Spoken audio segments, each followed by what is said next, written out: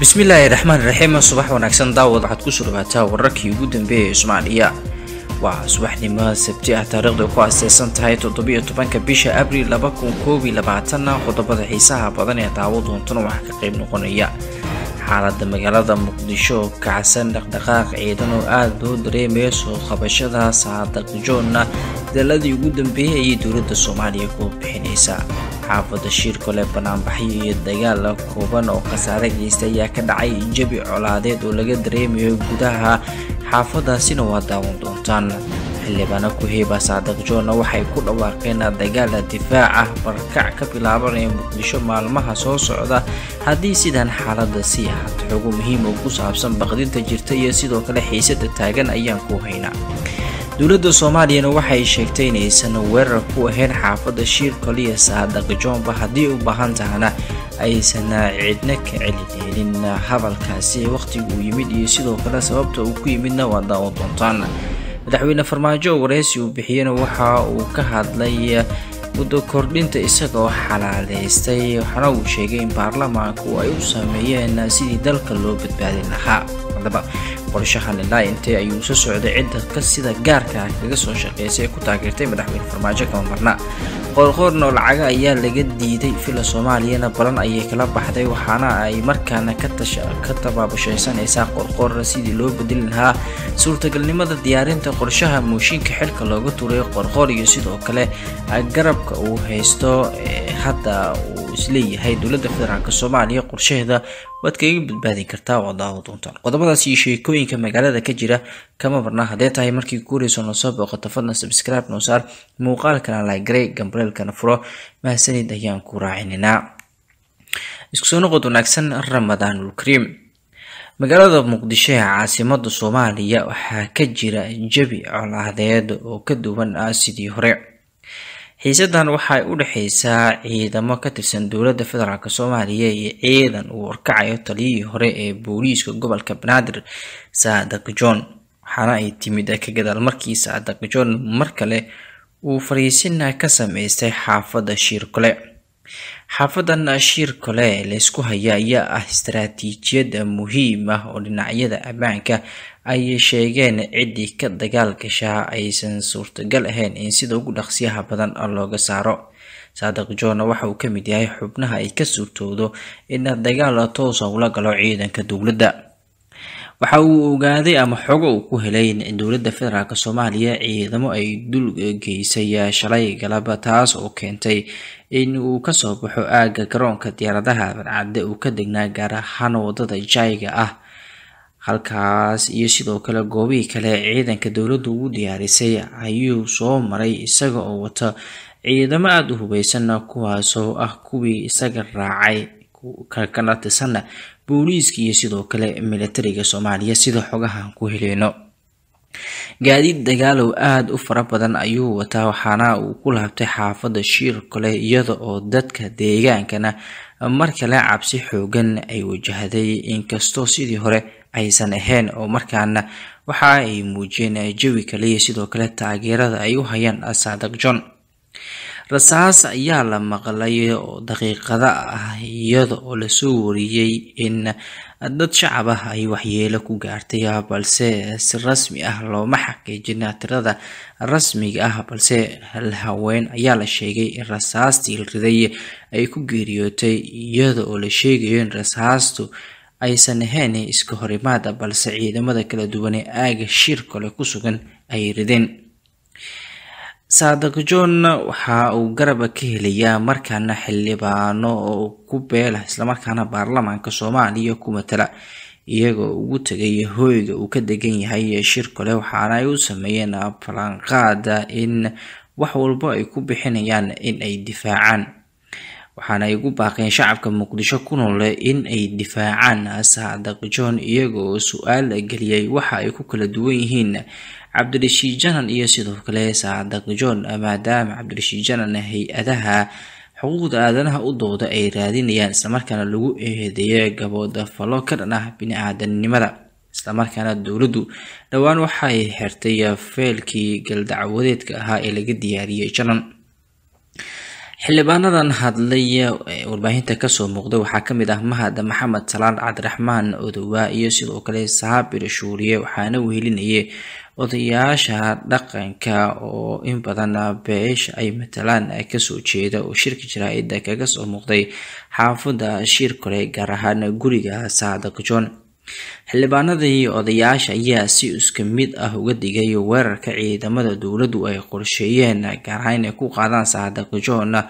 waxaana ay sheegeen in la soo dhoobay halkaasi ciidamo iyo sidoo kale gaadiida dagaala markii saadaq john uu ka soo tegay gurigii ku yaalay aadan cadde uu soo aaday dhinaca shir kale xildhibaan cabdisaabir ayaa sheegay in farmaajo uu gaarsi ku hayo beesha uu ka soo jeedo tan iyo labada kun iyo toddobiyo tobankii wuxuuna sheegay in si shaqsi ah u beegsaday duulaankaas uu soo bilaaban ilaa iyo xilligan uu ku hayo dadka beeshiisa uu ku jiro saadaq john sida uu hadalku dhigay. Xildhibaan mahad maxamed salaadas ayaa isna ku eedeeyay farmaajo inuu yahay qabiiliiste soo dhaweystay islamarkaana ciddii uu doono hab beel ah ula tacaamulo sida cabdishii janan uu sheegay inuu yahay dembiilo dagaalo caalamka laga baadigoobayo in uu soo dhaweystay halka kalena uu weerar ku yahay saadaq john oo la shaqeeyay afar sano sida uu sheegay. Mahasalaada dhammaan xildhibaanada ayaa waxay ugu baaqeen shacabka muqdisho inay u diyaar garoobaan inay iska difaacaan. Farmaajo waxaana ay sheegeen inuu yahay hogaamiye kooxeed sharci daro ku jooga afila soomaaliya waxaanay noqotay hadalkii ka soo yeeray xildhibaanadan mid ballamisa dagaal ah oo dadka magaalada muqdisho loogu balamiyey in ay la dagaalaan. Madaxweyne maxamed cabdilaahi farmaajo oo dhowaan baarlamaanka muddo laba sana ay u kordhiyeen. Xaafadda shiir kole markaan si kooban u eegno istaraatiijiyada dhinaca amniga ah dadka ku nool banaanbax ayay dhigeen oo qaarkood taayaro ayay gubayeen waxaana banaanbax uu ahaa mid dad badani ay ka qeyb qaateen iyagoo dadkaasi rayada ay adeegsanayeen. Waxaa ka mid ah farmaajo ha dhaco saadaq john ha guuleysto. Waxaana ay ka duwnaayeen habeenkii hore ee xiisadu halkaasi ayay ka taagneeda dhanka kale dowladda federaalk soomaaliya war ayaa ka soo yiri ku aadan xiisada shiir kole iyo sidoo kale arrinka saadaq johnba ku saabsan. Wasiirka amniga soomaaliya xasan xundhubey jimcaale oo warbaahinta la hadlay waxa uu sheegay in dowladda federaalk soomaaliya ay diyaar u tahay in nabadda ay ka shaqeyso islamarkaana aysan u diyaarsaneyn ama diyaarba ay u ahayn in colaad ay ka huriso xaafado nabdoon oo ku yaalla magaalada muqdisho waxa uu sheegay in xaafadda shir kale ay tahay xaafad nabdoon islamarkaana amni ah oo amnigeedana laysku haleyn karo. Uu sheegay in diyaar aysan u ahayn dowladda federaalk soomaaliya in duulaan ku qaado dadka halkaasi ku nool. Wasiirka wuxuu ku nunuuxsaday in haddii loo baahnaa lahaa saadaq john in la qabto ama in weerar lagu qaado ay ahayd markii xilka laga qaadayay ka hor inta darajooyinka aan laga xayuubin cid celigaasi ka celi kartana aysan jirin. Waxa uu dhinaca kale uga digay siyaasiyiintii xildhibaanada. Uu sheegay in ciidanku ay kala qeybinayaan islamarkaana nidaamkii dowladnimada soomaaliya ay burburinayaan. Waxa uu hadalkan uu yimid markii xildhibaanada golaha shacabka idiisoo sheegnay mahad salaad saabir shuuriye odoba ay sheegeen in dagaal qabiil haddii loo laabto uu mas'uuliyadeeda uu leeyahay madaxweyne maxamed cabdulaahi farmaajo taas oo ku tusinaysa in xubnahaasi dagaal a diyaar u yihiin mar kalena ka qarxa magaalada muqdisho ee caasimada soomaaliya. Balse wasiirka amniga soomaaliya xasan xundhubey jimcaale wuxuu ku nunuucsaday in dowladda federaalk soomaaliya marnaba aysan diyaar u ahayn in nabadda ka jirta soomaaliya ay carqaladayso islamarkaana shacabka soomaaliyeed dhibaato u horseeda dhanka kaleento wasiirka amniga galmudug axmed macalin fiqi islamarkaana ka mid ah mudanayaasha ka tirsan golaha shacabka soomaaliya wuxuu ka mid yahay xubnaha sida aadka u dhaliila dowladda federaalk soomaaliya waxaana dhaliilihiisa ay yihiin kuwo ku qotoma marxalada xilligan taagan. Waxaana uu ka hadlay xukunka waa muddada labada sana ah ee loogu daray xukunka madaxweyne maxamed cabdilaahi farmaajo wasiir faqi ayaa sheegay in kursiga farmaajo keliya lagu ilaalin karo dastuurka heshiiska lagu wada yahay balse marnaba aan lagu waardiyey karin qori iyo sidoo kale cagajugleedna looga soo horjeedo dadka aragtiyada dhiibanaya gaar ahaan mucaaradka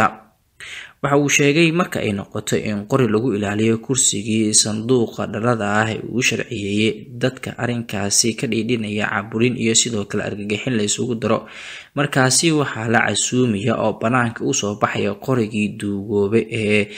boorku fuulay muddadii dastuurku dhaqangalka ahaa. Wadadaasina ma ahan mid cusub waa mida hore loo soo tijaabiyo cawaaqibteeda la mahdin ayuu yiri wasiir axmed macalin fiqi axmed macalin fiqiye sidoo kale xubnaha galmudug ayaa waxa ay weerar ku yihiin madaxweynaha soomaaliya maxamed cabdilaahi farmaajo muddo kordhin laba sana ah baarlamaanka soomaaliya u sameeyeen isniintii toddobaadkii nasoo dhaafay waxaana ay ka siman yihiin eedeemaha iyo sidoo kale liilaha ay u jeedinayaan madaxweyne farmaajo maadaama qoorqoor uusan taageerin muddo kordhintaas islamarkaana uu ku hungoobay arrimo badan markaana qoorqoor ayaana eegeynahe waxaa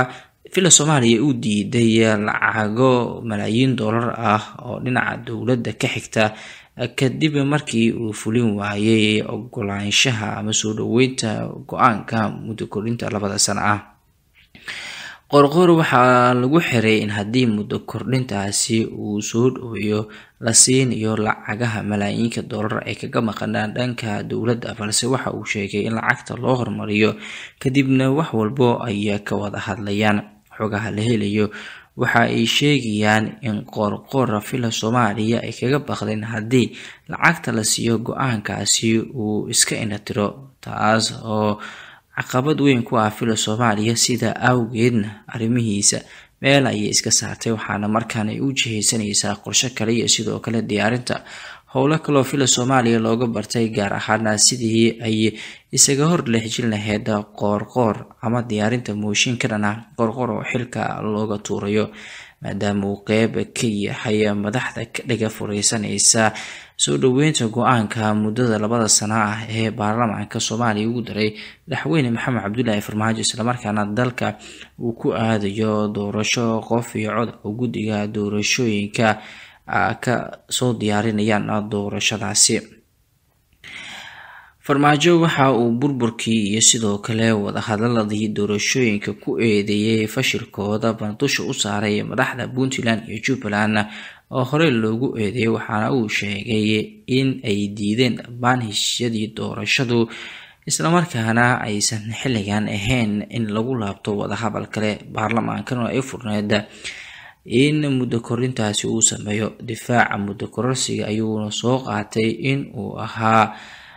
midda looga baahnaa in ay sameeyaan baarlamaanka wuxuuna dafiray in isaga uu wax lagu ku lahaa go'aanka baarlamaanka isagoo ku dooday in baarlamaanku xur u ahaa tallaabadaasi.